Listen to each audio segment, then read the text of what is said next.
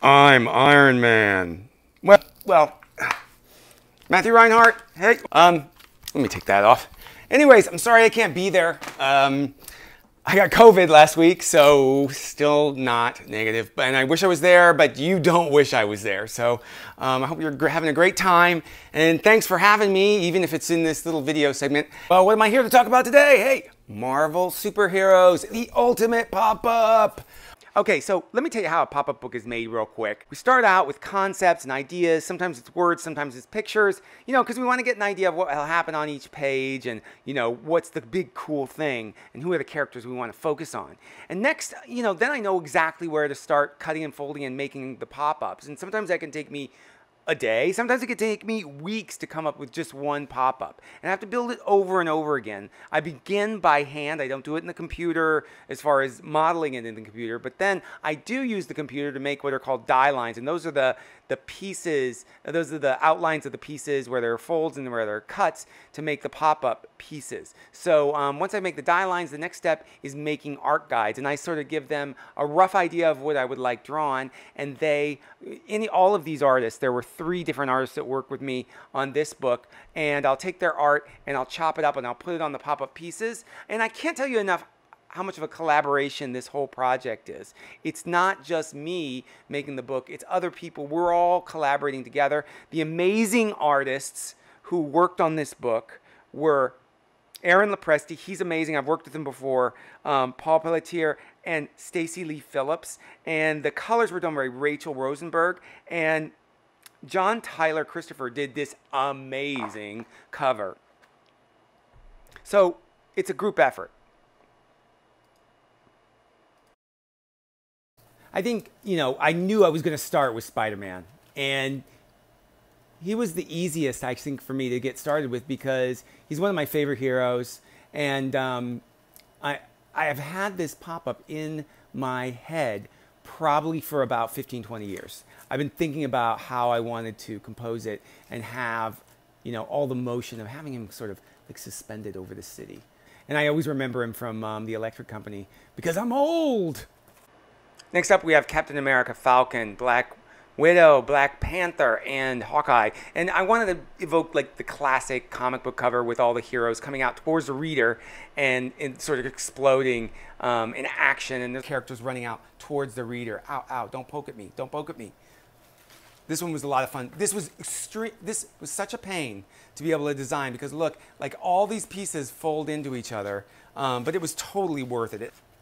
All right, so the Avengers pop. Well, it's hard to get all these characters all in one place, right?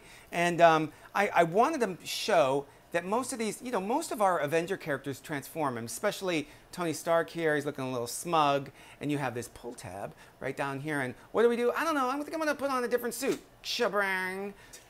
There's old Doctor Strange. He's starting some hexes. My favorite one, of course, is um, uh, Incredible Hulk. I just love this. And there's all kinds of Easter eggs too um, inside the, um, the headquarters. But I love this one. It was actually inspired by a toy from like the 90s of, um, of Incredible Hulk. It had a breakaway sort of little um, vault that you pull it and he explodes out. So I knew I needed to have that Hulk smash moment with a little pull tab there. A late addition to the book were the Fantastic Four. And um, I, have always loved this team because they're a family. They're regular people that you know are are transformed into superheroes. And and and this pop up actually has this really cool pull tab on the side, and they all transform all at the same time because they all were irradiated. And I don't need to tell you guys this story. But anyways, uh, I love this one. It was really hard actually to get working because there's four different pull tabs all working at once and to get it to be really smooth. And then inside this side pop, we have Doom and uh, you kids get off of my lawn. Mutant time, that's right. Da -da -da so um, the X-Men were like essential to this book.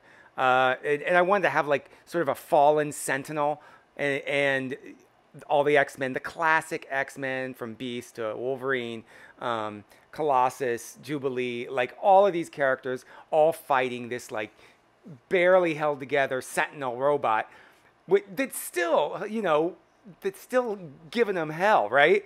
Uh, here we go. The big bad guy. Here he is, Galactus.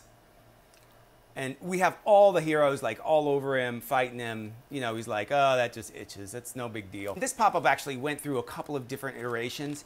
It, it at first stretched across the page and it was a little bit like, eh.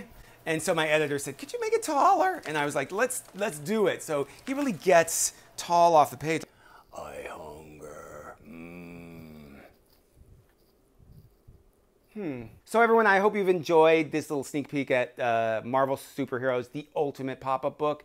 And I hope you uh, enjoy it as much as I enjoyed making it. And I'm so happy to share it with you finally now. Um, so, oh, by the way, um, we're going to be giving away posters uh, that has the art, the amazing art from the cover of this book and they're going to be numbered. And in a couple weeks on my YouTube channel, uh, which is under my name, Matthew Reinhart. So on my YouTube channel, we're going to give away five limited edition, handmade by me, um, superhero Marvel pop-ups that aren't in this book to uh, to about five different people. So be sure to stay tuned to my YouTube channel and don't forget to get one of those posters because each one's going to have a number and I'm going to announce who wins.